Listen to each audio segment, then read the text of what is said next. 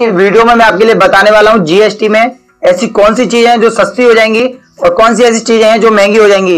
एक जुलाई से देश भर में जीएसटी मतलब कि गुड्स एंड सर्विस टैक्स लागू होने वाला है। जीएसटी बिल लागू होने के बाद कई ऐसे सामान है जो बेहद सस्ते हो जाएँगे। रोज़मर्रा की कई चीज़ें ऐसी हैं जो काफ़ी सस्ती हो जाएँगी। जीएसटी यानी गुड्स एंड सर्विस टैक्स इसका मतलब है एक सामान पूरे देश में सिर्फ़ एक ही टैक्स लगेगा।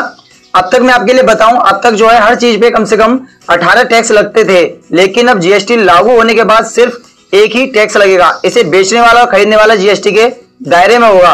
और जितने भी टैक्स थे, सेल टैक्स, सर्विस टैक्स, वो सारे टैक्स जो है वो खत्म हो जाएँगे। और एक जुलाई दो हज़ार सत्रह से सिर्फ़ और सिर्फ़ एक ही टैक्स लागू हो जाएगा। तो फ्रेंड्स, मैं आपको वो चीज़ें बताऊँ जो जीएसटी से मुक्त रखी गई हैं और सस्ती होने वाली हैं। ये चीज़ें हमारी रोज़मर्रा की चीज़ें हैं।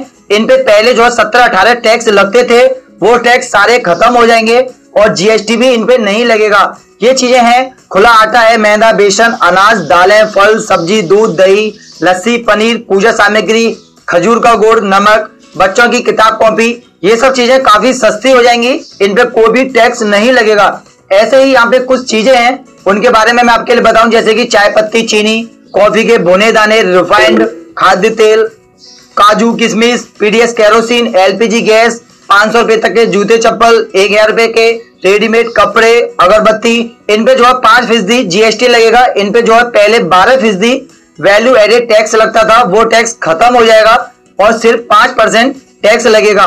और ऐसे ही स्वास्थ्य सेवाएँ, दवाएँ जो है वो महँगी हो जाएँगी। तो फ्रेंड्स मैं आपके लिए बताता हूँ जीएसटी को तीन हिस्सों में रखा गया है, बारह परसेंट टैक्स अठारह परसेंट टैक्स और अट्ठाईस परसेंट टैक्स तो मैं आपके लिए बताऊँ, जिन चीज़ों पे बारह परसेंट टैक्स लगेगा, पहले इन्हीं चीज़ों पे 20 परसेंट टैक्स लगता था 20 परसेंट टैक्स खत्म हो जाएगा और 12 परसेंट टैक्स लगेगा। 8 परसेंट जो टैक्स था, वो सस्ता हो जाएगा और ये चीज़ें हमें सस्ती मिलेंगी। जैसे कि घी है फ्रूट है, बादाम है, छतरी मोबाइल अचार, मुरब्बा, चटनी, इन पे जो बारह परसेंट टैक्स लगेगा और जिन चीज़ों पे अठारह परसेंट टैक्स लग रहा है, ये वो चीज़ें हैं जिन पे पहले कम से कम बत्तीस परसेंट टैक्स लगता था।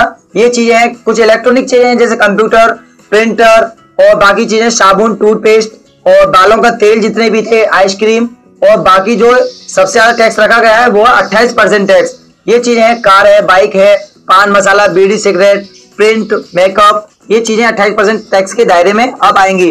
तो फ्रेंड्स काफ़ी ऐसी चीज़ें हैं जो सस्ती होने वाली हैं और जो बिल्कुल सस्ती होने वाली हैं, वो चीज़ें मैंने आपको बता दी हैं. जो हमारी रोज़मर्रा की चीज़ें हैं, वो सस्ती हो जाएँगी, उनपे जो टैक्स लग रहा था, वो टैक्स खत्म हो जाएगा. तो फ्रेंड्स अगर आपको ये वीडियो पसंद आए तो लाइक करें और आपको ये वीडियो कैसा लगा कमेंट बॉक्स में कमेंट करके बताएँ। और अगर आपने अभी तक हमारे चैनल सब्सक्राइब नहीं किया है तो रेड बटन को दबाएँ और हमारे चैनल को सब्सक्राइब करें।